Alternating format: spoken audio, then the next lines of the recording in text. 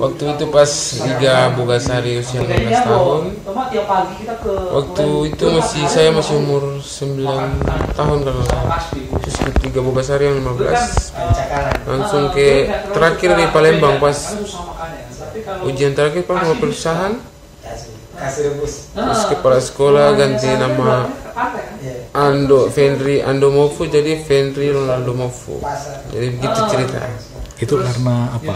Ronaldo, nama Ronaldo dikasih kepala sekolah karena apa? Karena saya masih muda tuh saya ikut ini terus terus dia senang lagi sama saya. Jadi ganti nama Fenri Ando. Dia lihat saya main bola bagus jadi ganti nama Ronaldo. Ronaldo yang mana yang dia ini? Ronaldo botak Ronaldo Brazil. Brazil lah. Orang tua dengan waktu melihat ijazah itu gimana responnya? Orang tua biasa aja senang tambah senang lagi orang tua. Tambah senang malah dengan perubahan nama. Iya. Berarti nama aslinya Fenri mau